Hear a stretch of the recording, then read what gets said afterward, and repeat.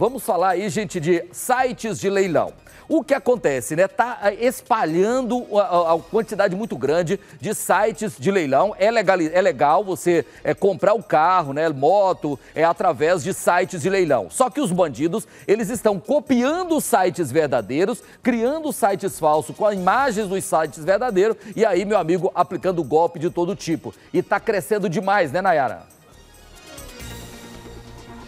Ô Loares, você falou tudo, está crescendo muito e são sites muito parecidos, idênticos, na verdade, ao original, e isso leva a mais vítimas, né? Porque a pessoa ali, num pequeno descuido, acaba caindo no golpe. Mas tem alguns cuidados, viu, que essa pessoa pode tomar para não ser vítima de um golpe como esse que a gente vai falar agora com o delegado aqui, adjunto da Delegacia de Repressão a Crimes Cibernéticos, o doutor Paulo Ludovico. Ele vai contar um pouquinho desse caso específico do leilão falso e também orientar aqui a população para não ser vítima desse tipo de golpe.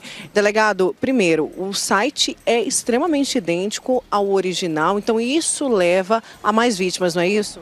Boa tarde, Nayara. Boa tarde, Loares. Boa tarde, telespectadores. Exatamente. O site é um site muito similar, muito parecido com os sites oficiais.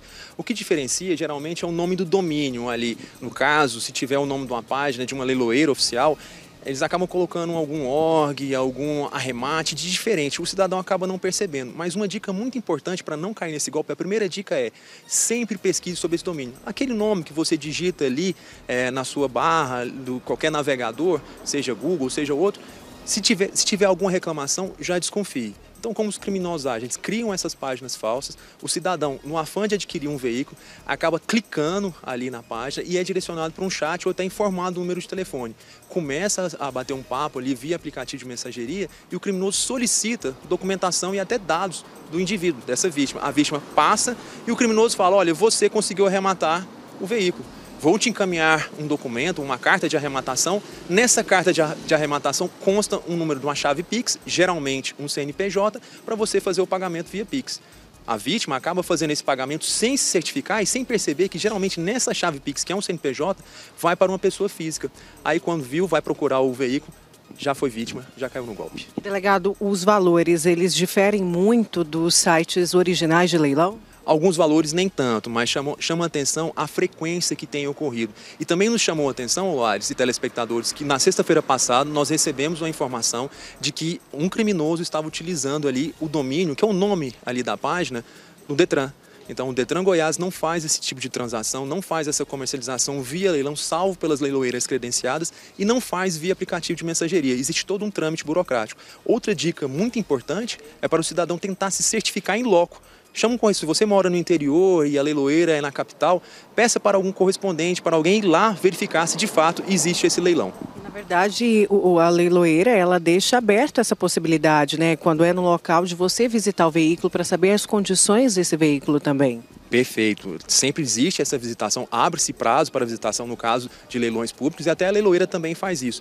E outra dica muito importante, a gente está aqui justamente conclamando a população para ficar atenta, é para não fazer essa transferência de forma imediata. Mas caso faça, caso caia num golpe, entre em contato imediatamente com a instituição bancária, tente bloquear esse valor e depois procura a delegacia mais próxima para registrar essa ocorrência. Agora, delegado, você estava me contando que esse golpe do leilão ele já existe tem algum tempo, só que ele está cada vez mais perfeito, justamente isso, tirando uma cópia quase que idêntica do site original.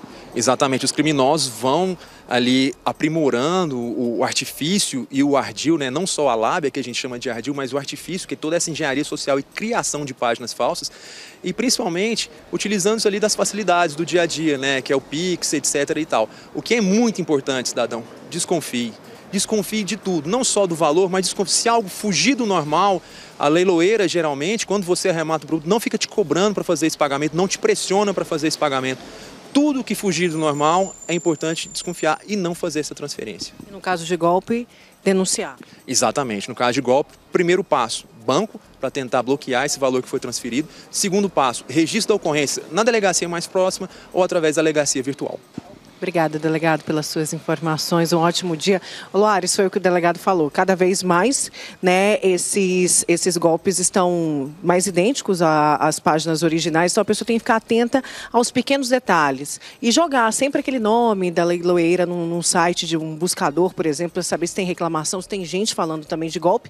E se por acaso, né, a gente torce para não virar vítima, vir aqui até a delegacia e denunciar, Loares. Ô, ô, Nayara, inclusive, estou recebendo a mensagem. Ô, Loares, é, vocês falando aí sobre o golpe do site de leilão. Meu tio, que mora em Goianésia, perdeu 150 mil reais na compra de um trator em um site de leilão. Olha para você ver, 150 mil reais ele comprou um, um, trator. E o que acontece, é isso que o delegado está dizendo. Gente, a pessoa pega o site... Eu vou dar um exemplo aqui, não é propaganda nem, nem denegrindo a imagem da empresa. Eu conversei com o advogado da VIP Leilões. É uma das maiores empresas de leilões virtuais do Brasil. É uma empresa legalizada. Essa empresa é a maior vítima também, porque os bandidos pegam as fotos e até o uniforme né, dos funcionários é, que aparecem lá com a logomarca e tudo mais. Eles criam sites falsos né, e dão o endereço da VIP aqui em Goiânia. No Brasil inteiro tem essa empresa, mas eles dão o endereço aqui em Goiânia, né, que fica ali na Esplanada dos Anicuns, é, eles dão o endereço, a pessoa vai lá, o carro existe, porque o site oficial divulgou, só que na hora de fazer o pagamento cai na conta dos criminosos. Então,